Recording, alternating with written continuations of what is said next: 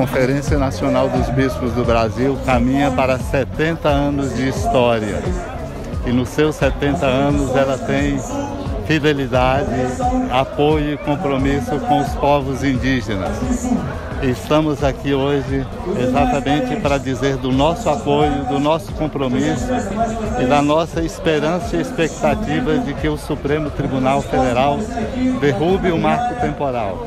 Não é uma solidariedade pontual, é uma solidariedade histórica, porque desde que a CNBB existe, e a cada dia aprendendo mais e enfrentando novos desafios, a CNBB, a Igreja no Brasil, sempre foi solidária com os povos indígenas.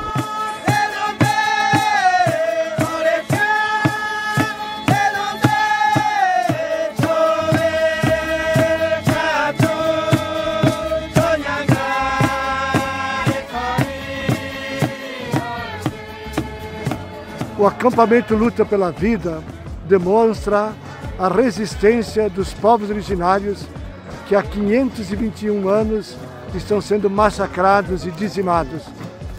E eles gritam para o respeito pela Constituição do Brasil, que em 88 assumiu o compromisso de respeitar a história, os costumes e as tradições dos primeiros habitantes dessa terra.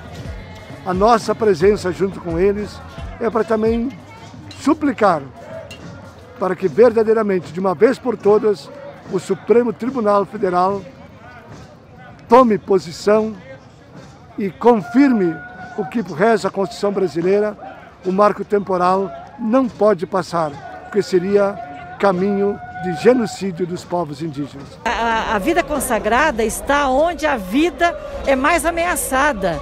E quer mais ameaçada do que a situação dos nossos indígenas do Brasil, justamente este perigo de perdermos cada vez mais as terras já perdidas para que eles possam ter vida digna e continuar preservando o ambiente, a nossa casa comum, que é o futuro, que é o projeto de vida para o planeta.